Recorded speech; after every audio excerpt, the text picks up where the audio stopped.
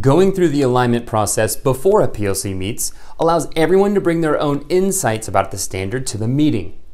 When a PLC goes through the alignment process together, they're more likely to all miss the same things. But if the work is done by everyone beforehand, then everyone can bring their own perspective about the standard to the table, and the group will end up with a more rigorous and complete final product. On a previous slide, I showed you the specific resources that I used to go through the alignment process for Science Standard 6.6b.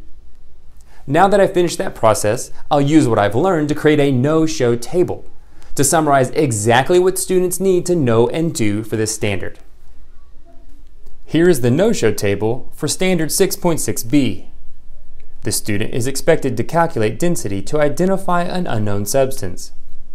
So students need to know that the density of an unknown substance can be used to identify the substance. That is directly from the standard itself, and it is exactly how students are assessed on this content.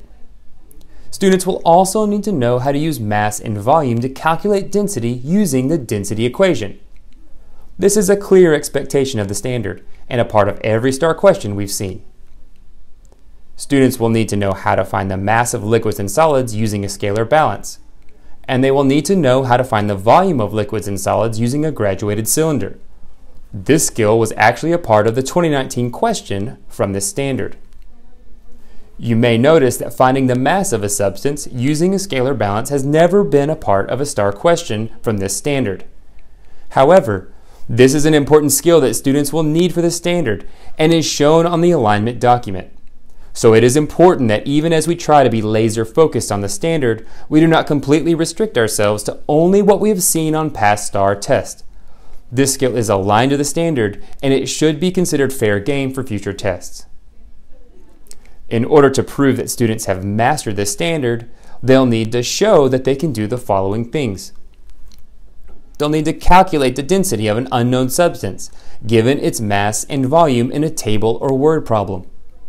After looking at release questions, I want to make sure that my students can navigate those stimuli. If they can't, then they haven't really mastered this standard yet. They also need to identify an unknown substance using the density they calculated in a table of densities. Students will need to show that they can go from the information they are given to the identity of an unknown substance. And finally, Students must be able to identify an unknown substance after calculating its density from a mass and volume they measured.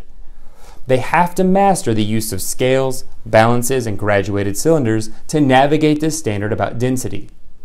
So, in a distance learning setting, this will mean creating resources that allow students to practice these skills virtually.